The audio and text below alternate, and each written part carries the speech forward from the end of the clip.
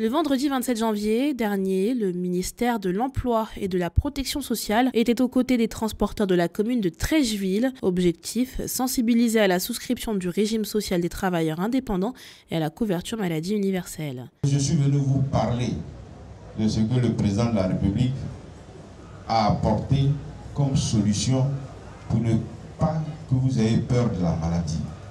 Ce que le président de la République a apporté votre solution pour que votre angoisse, lorsque vous tombez malade, disparaisse. Pour que vos inquiétudes s'estompent. Pour que votre peur n'existe plus.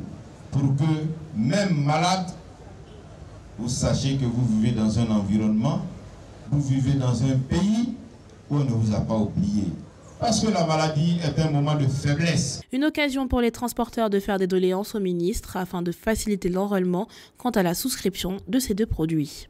Nous avons un délai maximum et que nous souhaitons aujourd'hui avoir les agents d'enrôlement dans nos locales pour que tous nos camarades chauffeurs promotionnels et les transporteurs puissent vraiment euh, se faire enrouler.